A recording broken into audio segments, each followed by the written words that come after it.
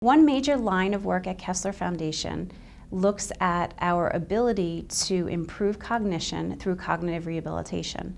So what we're trying to do is identify new treatments that help people learn and remember new information better.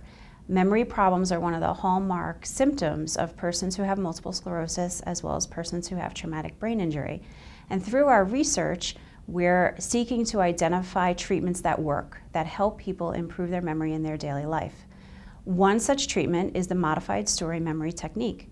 This treatment teaches people to use context and imagery to learn new information.